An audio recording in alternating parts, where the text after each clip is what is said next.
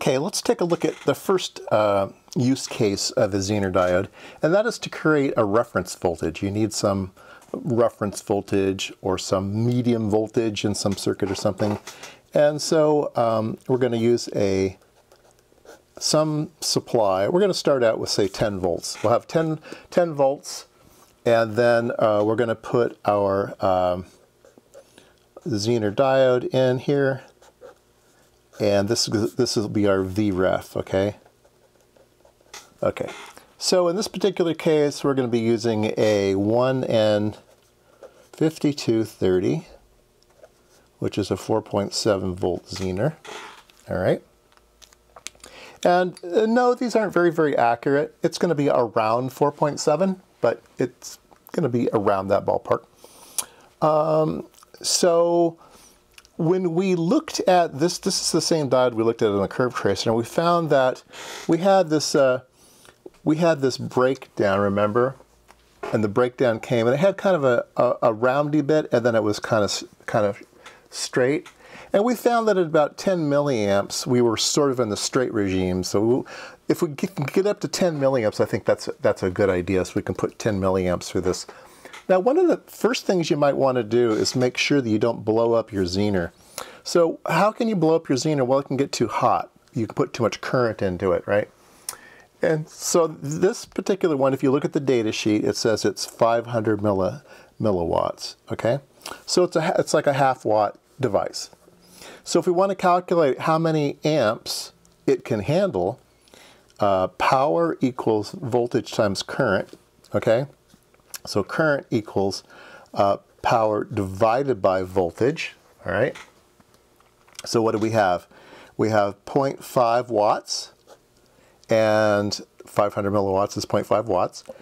And we have 4.7, we have 4.7 volts. So let's do that calculation. All right, we have uh, 0.5, and we have 4.7. We have 106 milliamps, 100, 106 milliamps, 106 milliamps. So that's the maximum maximum current that this particular um, Zener diode can handle. All right, but we're only going to be using it at 10 milliamps, so we're, we're way, way good. All right, so how do we make sure we're getting 10 milliamps into the device, right? Well, well, we're going to get 4.7 when we're done. So how many volts are across this resistor? 10 minus 4.7. Okay, that's how many volts are across the resistor. And what do we want? Well, we want 10 milliamps, okay? 0.01 amps. And so that will give us how much the resistor is. Remember, voltage equals current times resistance. So voltage divided by current is um, resistors. Ohmage. Remember the ohmage. All right. So um, let's do the calculation. 10, 4.7 subtract. So we're going to have 5.3 volts, and we have uh, 0.01 amps, 10 milliamps, okay? We're going to get 530 ohms. All right? So, um, I think 510 is a number but uh, I have some 470, so we're going to put 470. Well, that means we'll put in a little bit more than we need, and that's okay. Um, so we're going to have 470 ohms, and this should give us a VREF. Now, um, it's important that you don't put any load on here because you want all the current to be going through the diode.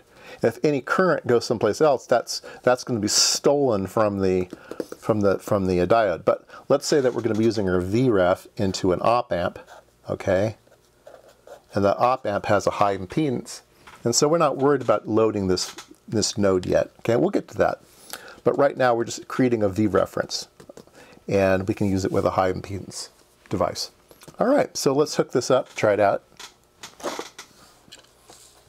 All right. So uh, here I have a 470 ohm resistor and our Zener diode going to ground, reverse biased, remember. All right, so let's measure its uh, let's measure its voltage, make sure it's Zenering, and we're getting 5.6. I mean 4.6, which is close to 4.7. Like I say, they're not going to be totally accurate. You're just going to get something that's in the ballpark, and so uh, it is doing its job. All right. Now, are we really getting all of the currents and stuff that we want. One thing we can do is we can actually measure the voltage across your resistor. Uh, because uh, digital multimeters are not ground referenced, right? They're just floating. You can actually put them in a circuit and measure differential voltages. So we have 5.4 volts across the uh, resistor. And remember we calculated we'd have 5.3? Well, we have 5.4, that's fine. So we have 5.4 and uh, let's see, where's our calculator again? Okay, so we have 5.4 volts and we have 470 ohms. So we're putting in 11 and a half milliamps. That's great. 11 and a half milliamps is perfectly good for this application. So um, let's go back to our drawing.